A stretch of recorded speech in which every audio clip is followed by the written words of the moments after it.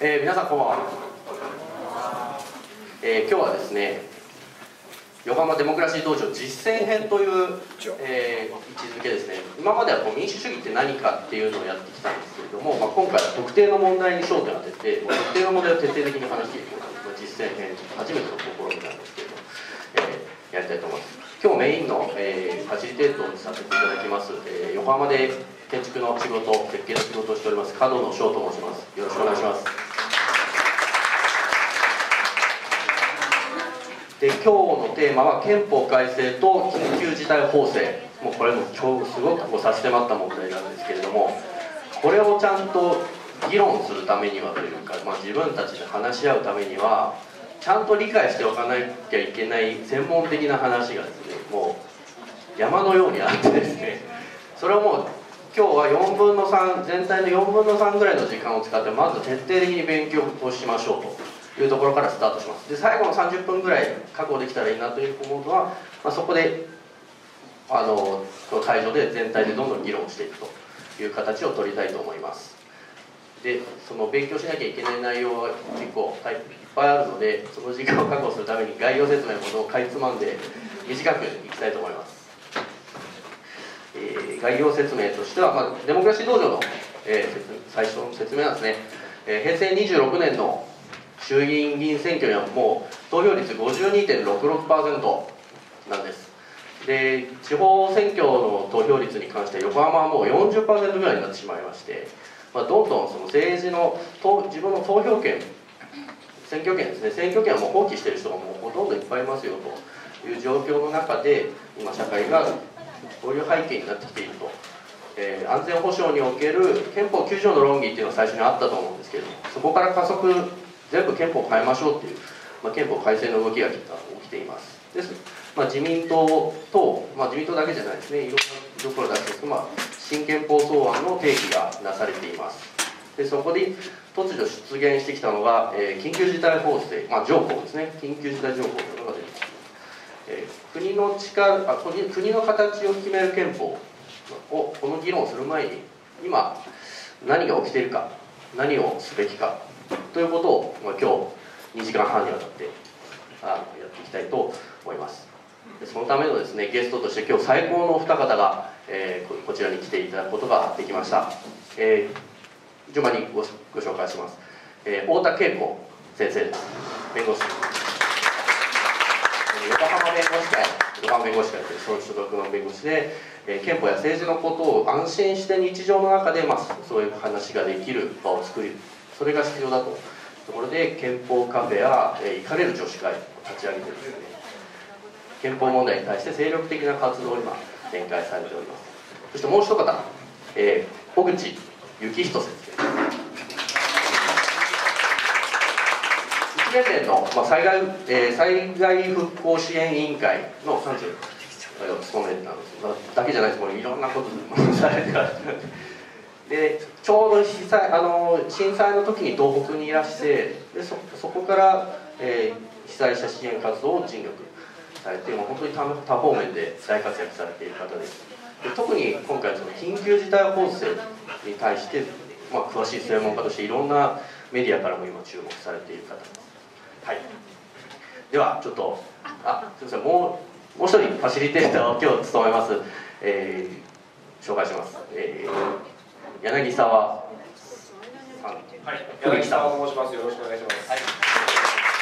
チームリーはい。あの横浜で2011年以降脱原発とかいろんなまあ活動を友達と始めまして、で仲間が集まって今日のまあコアメンバー5人なんですけど、デモクラシー道場というのを始めました。ね、今日が5回目ですね、今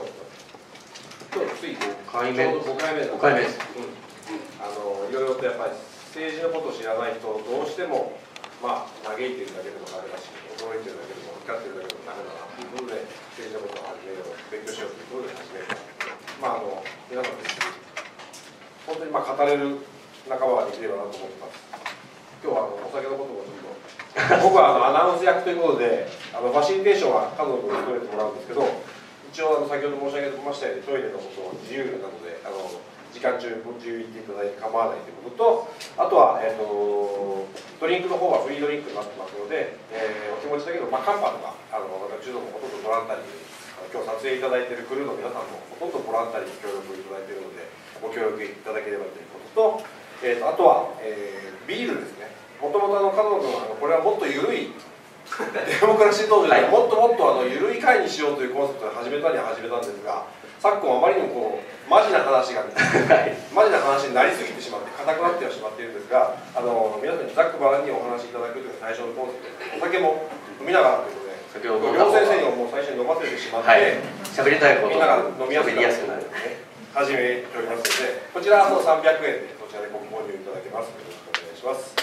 はい、あとアンケートをですね、お手元にお配りしておりますので、えー、お帰りまでにぜひあの感想等々お書きいただいて、えー、受付の方にお戻しください。あのこのアンケートが励みで私らあのやっていくようなものですので、ぜひともご協力をお願いいたします。はい、じゃあ、田村君よろしくお願いします。はい。じゃあですね、ここ今ちょっと出しちゃったんですけども、一度起立ということで、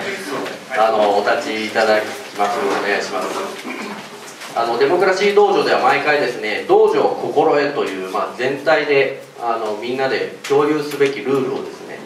あの道場だけに。道場だけに、はい、心得を守れない人には即刻退場してもらう。マジですか。ビールを買い取ってもらうから。あビール買い取ってなので、えー、毎回ですねゲストの先生方にですねあのこの道場心得みんな、えーと合わせて、えー、昭和していただきましてみんなで一斉にそれを昭和すると先生たちが読んだらその後について皆さんがついてきた皆さんまでも僕らも含めてなんですけど門下生ということで、はい、心得をしたいと思います、はい、なので一つお願いしますはいあななくても大丈夫一つ門下生は互いに尊重し合うこと一つ門下生は互いに尊重し合うこと。ならぬこと。一つ感情的にならぬこと。一つ発言は1分以内にまとめること。一つ発言は1分以内にまとめること。一つ根に持ち場外に持ち出さぬこと。一つ根に持ち場外に持ち出さぬこと。一つ稽古で学んだことは広めること。一つ稽古で学んだことは広めること。おっすありがとうございました。よろしくお願いします。まあ、今日はですねちょっと勉強の要素が多いのでちょっと発言は1分以内にとかっていうのもちょっとそういう機会も少なくなってしまうんですけど。それすらもない。はい。サクサクいかないとっていうのがあるので。はい、はい、これ最後あの毎毎回恒例でご紹介しているガンジの言葉ですね。えー、不寛容。それ自体が暴力の一形態であり真の民主主義精神の成長にとって障害となる。ということ。を、えー、道場組んですね道場組めたいと思います、えーまあ、今日の流れとしては、えー、立憲主義のおさらいと参議院議員の議会選、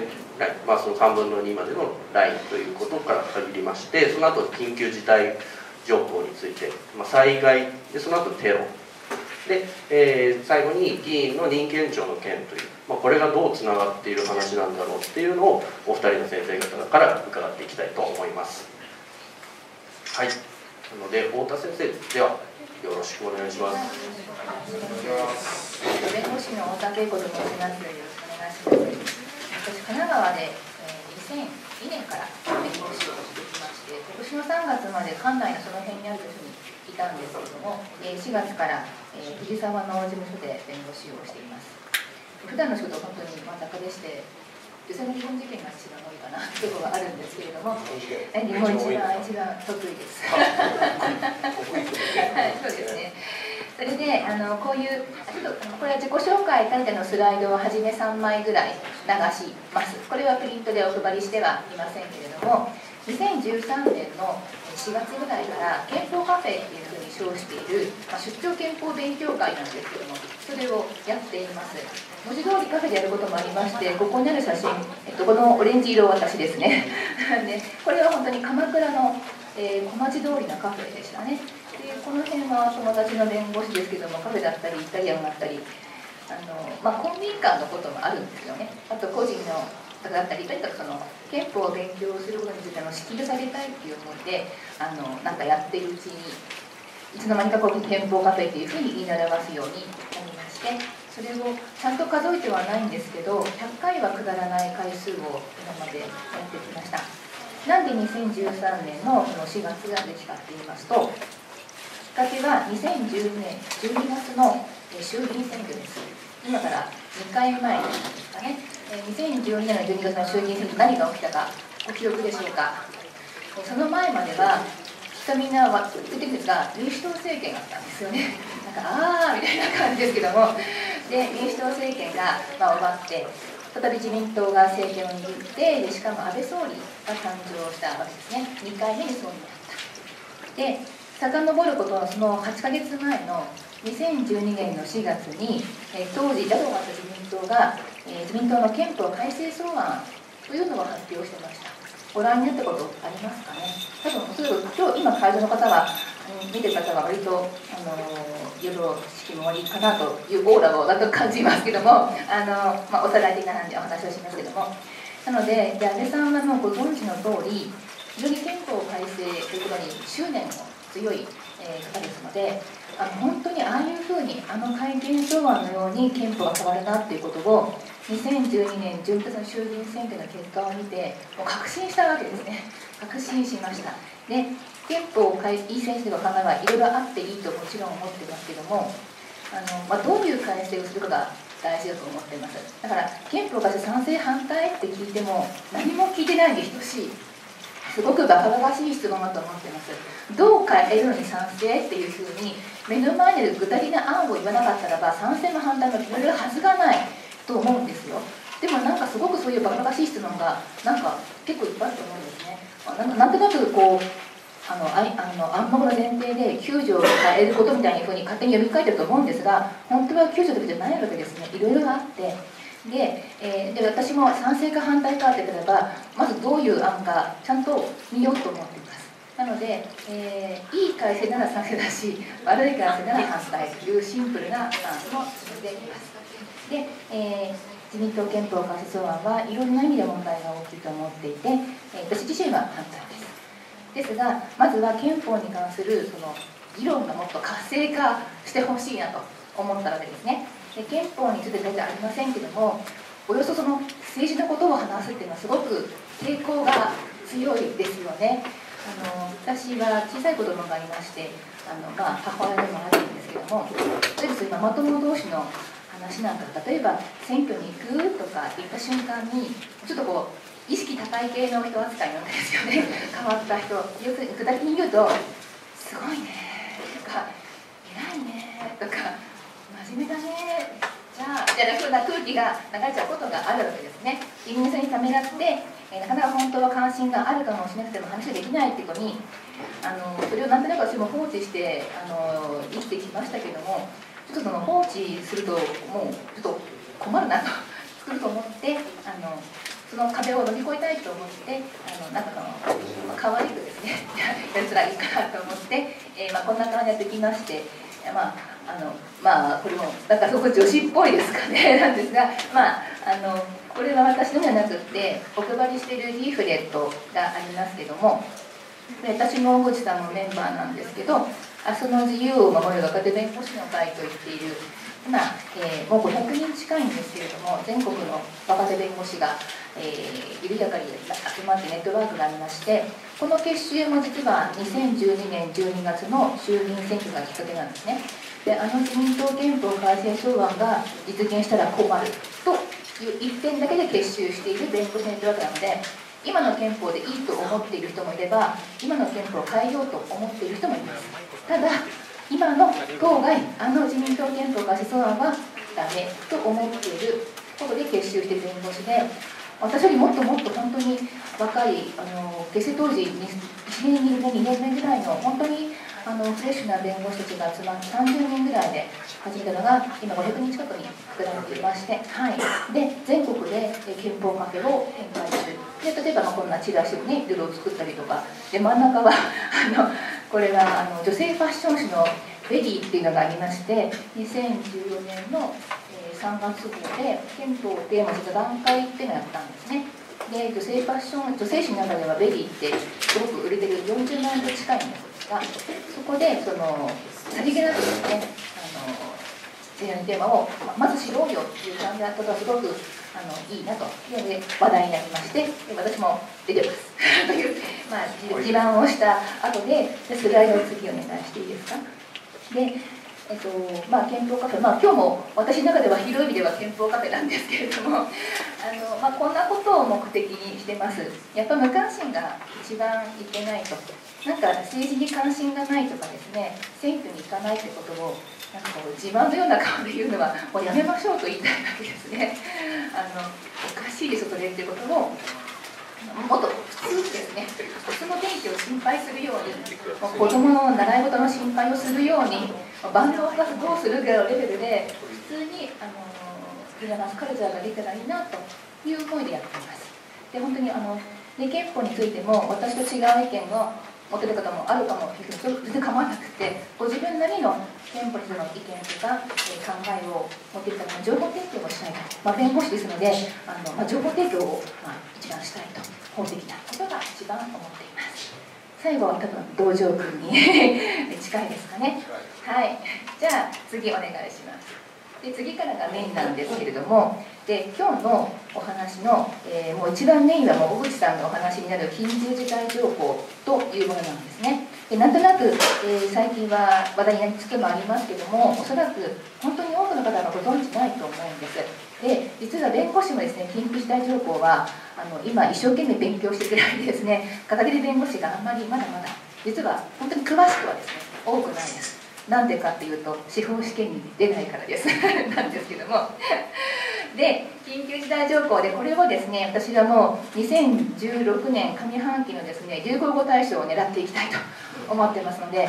それで緊急事態条項これは7月の参議院選挙の前に絶対に知っておかなきゃいけない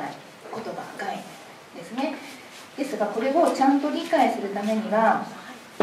2つのことを分かってないとちょっと本当に分からない。1個目がそもそも憲法って何という？立憲主義っていう概念に関わるんですね。で2個目が今の情勢です。なぜ今それを、え知っておかなきゃいけないのか。その2つを私が、え前振りとしてちょっとお話をしたいと思います。でまず1枚目のそれここからがあのお手元にある紙にあの投影しているのをプリンターとしてお配りしていますけれどもまずそのちょっとね少し抽象的な話に見えますけどもそもそも憲法って何だろうかという話をいつも憲法カフェでしてるんですね、えー、もう少し言うと憲法と法律って何が違うんですかね。法律と違う憲法って何なんでしょう何が違うんですか？えーと、1個説明大事な大事な答えと思ってるのが誰が守らな誰が守らなきゃいけないか。誰に向けられたルールか。まあ、当て人というんです。それが違うんです。根本的に。これは意外と知られてないと思っています。で、まあ、憲法っていうのはあの国家権力に向けられてるんですね。あの国家権力と、えー、主権者国民ちょっと分けて考えてください、ね、あの我々主権者国民はですね国に主権者というのは力の一部を預けてて、預けて政治をさせてるわけです。でその主権をあ、まあ、主権を信託されて政治をしている国側に対して憲法を向けられている。憲法は国側国家権力側に対してああしろこうするなということを命じているルールです。大事なのは国民に対してああしろこうするというルールではないということをぜひ押さえてください。家族と仲良くしろとかですね伝統財政とかそういうことを国民に言うのは憲法の役割ではないんです。内容以前役割分担の話ですね。ぜひ押さえてください。で法律は誰に分かっているでしょうか。みんなです。みんなです。国民国民個人個人もだし、え会社みたいな法人もだし市とか国みたいな権力もみんなを縛っているのが法律です。この違いぜひ押さえてください。で今の図で言うと次ですね。2枚目の数字ですけどもえっとですねちょっとちょっと細かく出してもらいます。えっとですね憲法って誰が作ったんですかね？作った覚え誰もないと思うんですけれども、えー、抽象的には何てっていいですかね？主権者国民が作っているんです。主権者あの国民主権ってなんとなく言いますよね。あのこの国の主人公です。この社会で一番偉い人。が国民。これ4文字熟語で何て言いますか？国民主義必要なって言いますよね。で当たり前な感じがしますか？当たり前なんですかねこれ。明治憲法では違ったじゃないですか。そうでしょ天皇の宮だけですよね。だから当たり前のような気がしますがもう一回かみしりましょう。私たちは一番偉くて社会の主人公なわけですね。でそれがまたその私たちが、えー、政治を国に、まあ、さしているわけですね。主権を預けて。で預けるについては注文付きで預けていくんです、ね、預けるよ政治やってもらうよこういう条件でお願いねっていうふうに命令付きで預けてるわけですね。それではその命令注文が書いてる内容が憲法なわけです、ね、だから憲法国に対して例えば日本の憲法では、えー、国は戦争をしちゃいけないよというのが書いてあるわけですね。あとは、まあ、国民みんな平等と書いてあります。国は、えー、国民差別しちゃいけないわけです。女の子が学校に行っちゃダメとかいうことをしてはいけない。ですね例えばね。そんなわけで、え、国民が憲法を作りました。でそんな憲法の書いてあることを実現するために、まあ、国が政治をするわけですね。国会議員は法律を作るし内閣は、まあ、制度で行政をするし裁判所は裁判をするしというふうにやっていくんですけども、えー、でじゃあ法律なんですが法律っていうのは誰が作ってるかというと国会議員が作ってるんですよね。でその法律には、えっと、もう一個出ます。かね最後もお願いします。法律は実は国民を守らなきゃいけないわけですね。法律っていうのはあのちょっと抽象的ですけどもなんか法律ってすごくその縛られるイメージがあるかもしれませんね。義務を法律に根拠があっていろんな義務を我々負ってます。もういっぱい義務ありすぎて当たり前に感じるかもしれない例えばどんな義務を負ってますかね？法律根拠。にそうです。源泉徴収票でいっぱい税金引っかれるでしょ？当たり前じゃないですよあれ。財産権の侵害ですからねある意味ね。お給料が例えばね月40万あるのにごそっと税金が来たりとか例えば所得税例えば公共があるんですね。あとは車を運転していて止まんなきゃいけなかったりするでしょ？止まる義務があったりあるいは例えば道路交通法とかですね。まあその義務も出ますが実は法律によって権利を受ける権利を与えられることもあるんですね。どどんな権利を持ちます？ぱいありますけども例えば年金もらう権利ですよ、ね、これはあの憲法日本の憲法25条っていうのがありまして生存権っていうんですけど国民は健康で文化的な最低限度の生活を営む権利を持っているという宣言別に国に対してそういうふうな生存権実現しろよっていう注文があるんですね。基づいて年を取って仕事ができなくなってなっても無事にしないように、まあ、年金法を作って、まあ、老齢年金がね受給する権利があるとか、まあ、そんなのが法律なんですけども。でですが法律には実は限界があります。どんな限界かっていうと憲法に反する法律は作っちゃいけないんです、まあ、憲法と法律ってあの違いの説明がもう一個ありえて強さが違うんですね。次元が違うんです。憲法って法律の一種じゃないです。別物です。ピラミッドのトップにあるのが憲法であのその内容に内容を実現するために法律ができている。例えば生存権を実現するために年金法があるとかね。で憲法に反する内容は作っちゃいけないんです。作ったらどうなると思います、まあ、効力がないんですね。ただ少しややこしいこと言うと効力がないって誰が判断するんでしょうか？誰か知ってます？裁判所です。誰かが裁その法律おかしいんじゃないのってことをその法律で困ってる人が裁判を起こして裁判所が最終的に憲法違反だと言ってで効力があの、まあ、なくなるというかそれを踏まえてここが変えなきゃいけないんですけども、まあ、そんなこと法律のジャッジを裁判所がするそうですね。憲法違反かどうか、うん、憲法違反かどうかの判断を裁判最後には裁判です裁判ですね。これ全部憲法に基づいて法律に関してジャッジする。そうです、はいゃあ次のスライドお願いします。でじゃそもそも憲法とはっていう話とぜひあのもしも聞いたことがない方がいたら立憲主義っていう言葉をぜひ覚えてほしいんですね。あのもう知ってる方もいらっしゃるかもしれませんけどもそういう方があのぜひですねあの知らない方にどう説明するかということをねとにかくな話を聞いてほしいんですがちょっと出してみますかね。ちょっと硬いですけれどもあの国家権力が暴走して乱用されると困るという人類の歴史上の教訓から生まれてるんですね。あのすごく強い権力っていうのを持っちゃうとつい人間って得たいことはしたくなっちゃうっていうそれはもう歴史上の教訓なわけですね。だから人間って弱いよねっていうあのなんていうか洞察に基づいたあのそこで先人が編み出せて知恵なわけです、ね、国に政治やらせると。なんだけども暴走しないように憲法で枠をはめてで国家権力に憲法というものによって制限かけてそれによって国民の権利や自由を守ろうとこれが憲法の仕組みです。これは日本だけじゃなくてあのなんだかな番号共通ですよ。そういう憲法ってこういうものです。で、まあ、今のちょっと言い換えっぽいですけども立憲主義ってある考え方発想を表す言葉ですけれどもその個人の人権とか自由のために憲法によって国家権力をこう抑制しようと。そういう発想これを立憲主義というふうに言います。これはもうそもそも何で憲法って存在するのっていう基本に根本に関わる大事な大事な言葉ですのでぜひあのもう知ってる方はですねまだ知らない方を捕まえてあの参院選までの間に最低10人にお話をしてほしいと思って本当にお願いしますね。で次お願いします。なんでこれ共通してるかっていうと2012年12月の米政権が始まってからですねあこの国のその中枢にいる、まあ、安倍政権の中枢にいる人たちが立憲主義っていうあまりに基本的すぎる概念をあの平気でですね軽視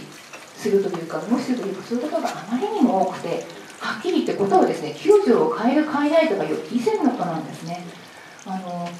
憲法があってみたいな法主義を日本やめるやめないみたいなことが問われてるそんな低レベルな状況なんですよはっきり言うと。で、まあ、これはもう画像出しちゃいましたけどもこれは2014年の通常国会で安倍総理が言った言葉ですね。ちょっと次の手でお願いします。その立憲主義軽視に関する政治家の語録はすごくいっぱいありまして皆さんのご案内のこともあるかもしれないんですがご興味をまとめました。いくつかね。そうもう本当にそうですねあの一番初めに私が仰天したのが丸一ですね。磯崎陽介さんという総理補佐官ですよね。あのもう本当に要職にある方ですよ。でしかも自民党の憲法改正推進本部のなんか事務局長だったかな？とか本当に要職にいらっしゃる方がこのツイッターで書いた言葉なんですね。でこの日付2012年5月27日っていうのが自民党憲法改正草案発表の翌月です発表されて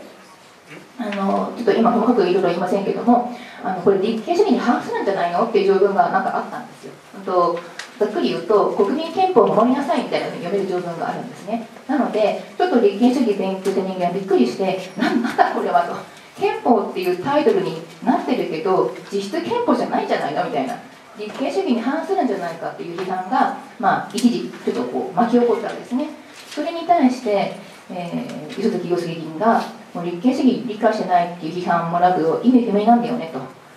その言葉自体知らないということを、まあ、平気で言ったわけですね。これはあの本当に恐ろしいと思ってましてこれが政治家であればですね本当じゃなくっても私があのもう動じないで「あ知ってますよ」みたいなことを言うべきなんですよ。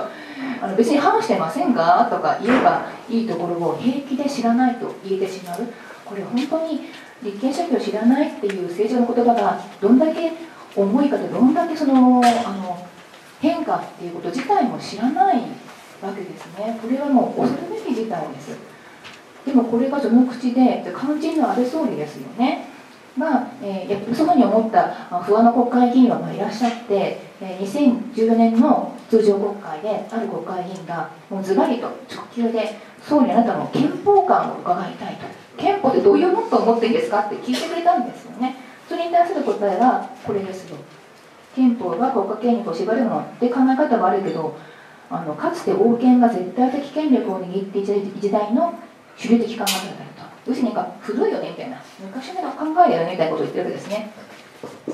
要するに権力っていうのを握ってしまうとどどんなに人格であってもこう危ないっていうふうな自分がも掌握している権力に対する懐疑心とかですねあの自分への戒めみたいなものがないんだなって私は思いました。でこれはちょっとありえないですよ政治家として。あのだ憲法どういうもんと思ってるのかみんなによくわからない。なんか下手したら学級目標的なことを考えてるんじゃないかと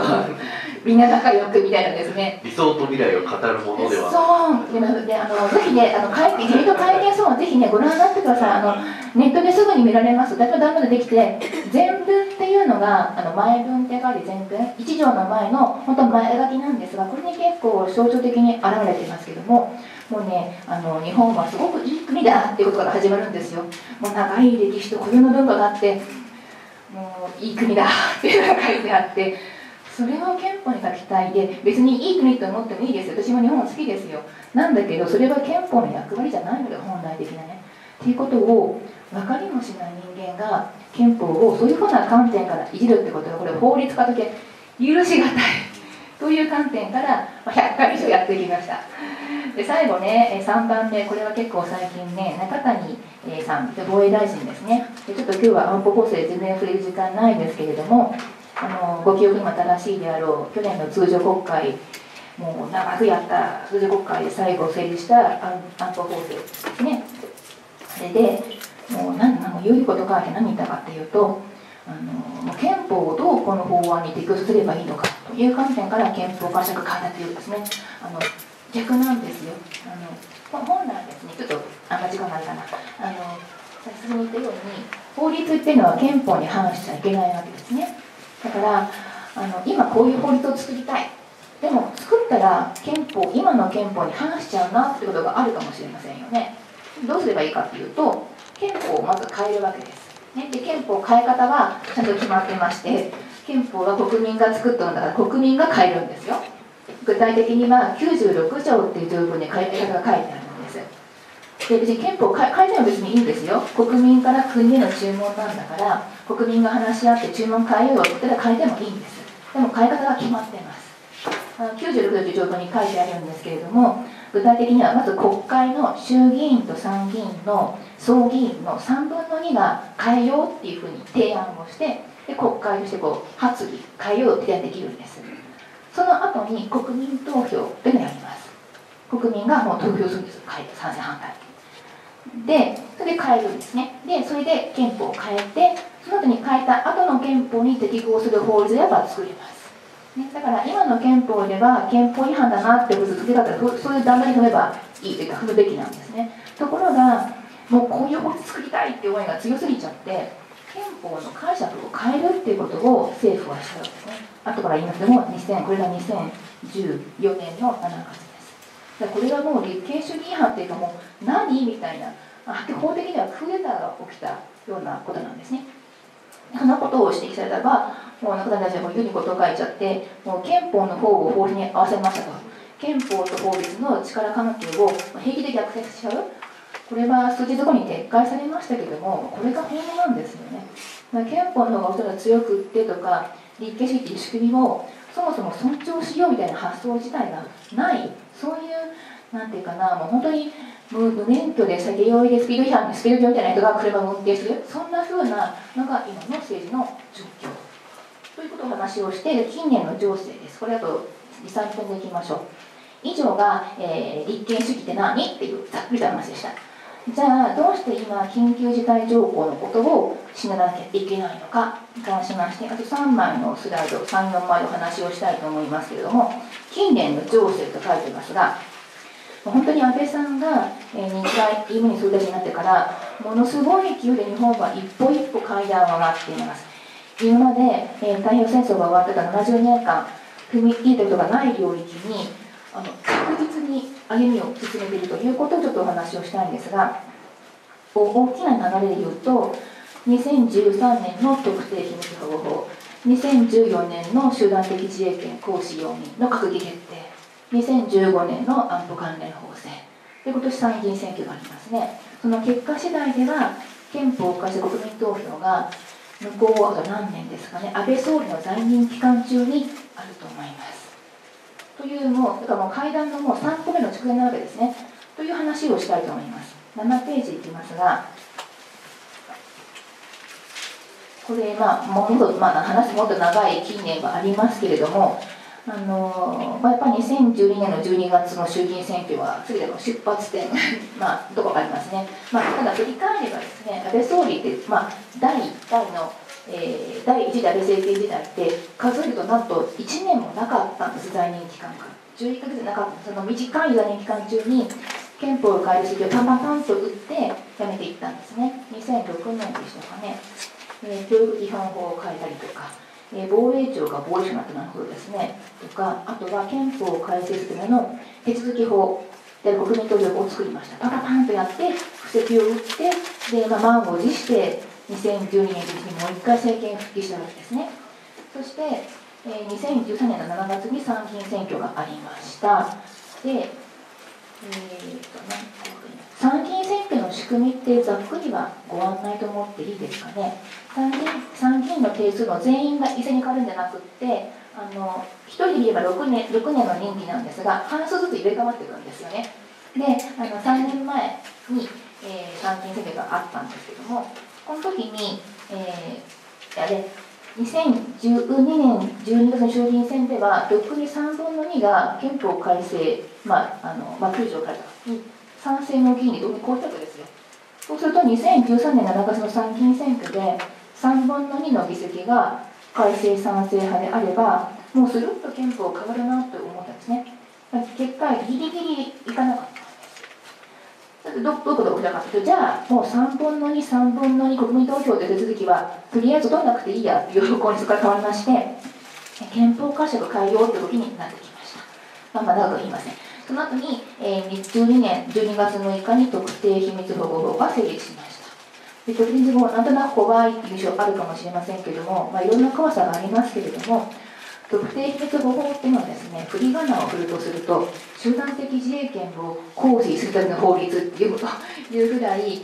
水の関係があるんですね。あの軍事行軍事行動はもう秘密にしないとうまくいかない。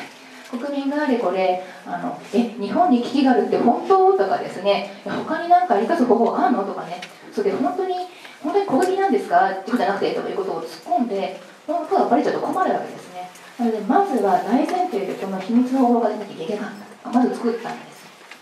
で2014年の通常国会がありましてでここで、まあ、国会の直後にですね手段的自衛権行使容認の確定決定と書いてありますがあ